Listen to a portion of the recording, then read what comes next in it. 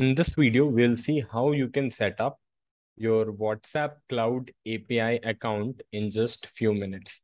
So all you have to do here is go to your Chrome and search for developers.facebook.com. And here you have the option of sign in. Once, once you're signed in, you can see my apps here. You have to click on this my apps button.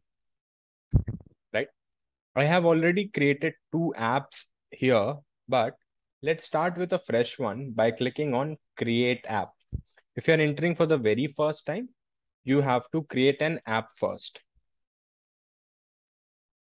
Now, you can choose what type of app you want to create.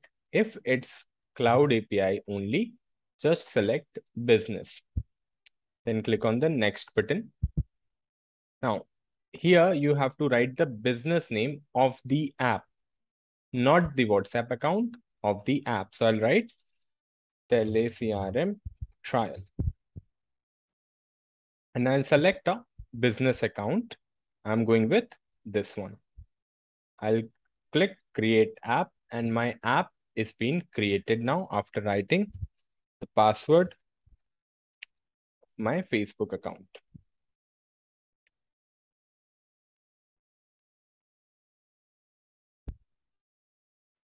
Once that is done, we need to add a product to our app. So we'll go with WhatsApp here at the very bottom. Just click on setup.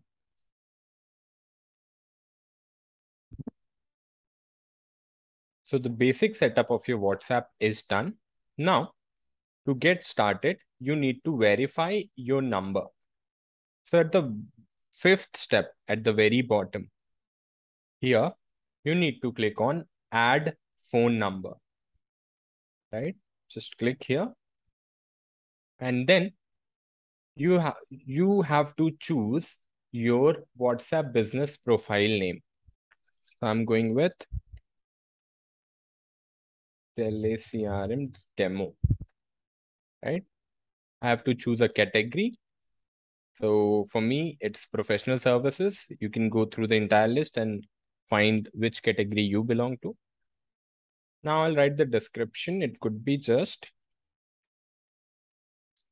this is an official WhatsApp API account. I'll click next. Now, this is where I have to verify my phone number. And in this process, you need to understand one thing that you can all you can only use the number that is not already in WhatsApp, neither in Messenger, not in business, right? So I'll select 91 India, write my number.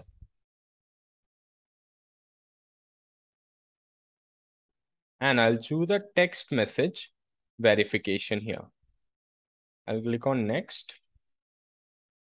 We I have already used this number. So it's giving me this. Otherwise, you will get an OTP. Once you write the OTP, the number will be available here. You can check at this place whether your number is available. By default, you will have only one test number.